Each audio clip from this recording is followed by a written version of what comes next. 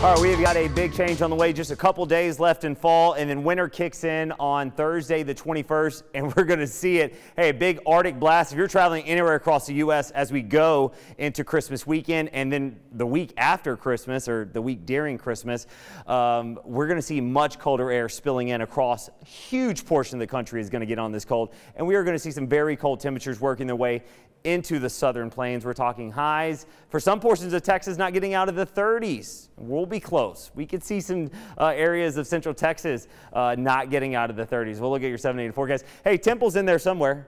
I can see it. Uh, 54 degrees. We've got the fog out there. Dew point 54, temperature 54, humidity 100%, absolutely saturated. We got a lot of moisture in the ground. We're going to get more moisture in the ground. We got a disturbance pumping in moisture in the lower and mid levels. Here's visibility. This hasn't really changed as we've gone through the day, anywhere from zero vi uh, visibility in miles to one to two miles visibility. We'll keep the fog around. We'll keep scattered showers increasing overnight. So areas that start to get some showers in the overnight into tomorrow morning, likely we'll see the fog becoming uh, not as dense, uh, but still patchy fog will be with us as we go in the overnight hours. Scattered showers have mostly been off towards the east and east and southeast. A couple scattered showers from Mexia to north of Fairfield. More rainfall is going to be picking up expected as we go from uh, uh, late overnight after midnight into sunrise. Temperatures not going to budge a whole lot. We'll actually see them warming up across the southeast areas as more moisture is pumped in and that forces the temperature up. Temperatures across the southeast are going to be warm and muggy. The dew point it's going to be very thick Gulf moisture is going to work somewhere between Waco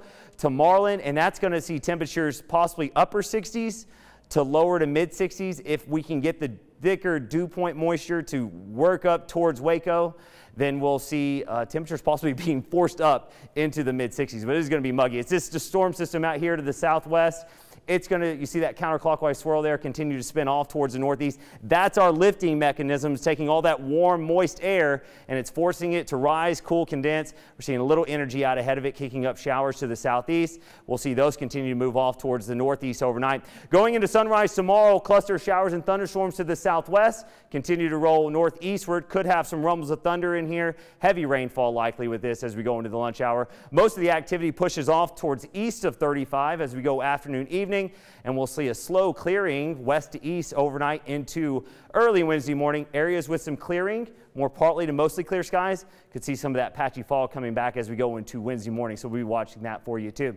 Hey, rainfall is going to be heavy as we go into tomorrow. We could see some areas one to two inches, not out of the question. Some areas could see less than that that don't see as much rainfall. Looking here at your seven day forecast, we're seeing temperatures overall very warm here to finish fall and then Winter officially starts on Thursday, and we're going to be feeling it as we go into Christmas weekend. Temperatures Monday morning, Christmas morning, some areas could be in the teens as we're seeing a cold trend coming this way. We'll continue to possibly tweak those temperatures down, and we will have to watch the possibility of some moisture around sometime Sunday into Sunday night. Just 10% chance right now, uh, still several days out. We'll continue to watch that for you. All right, Zac, thank you very much.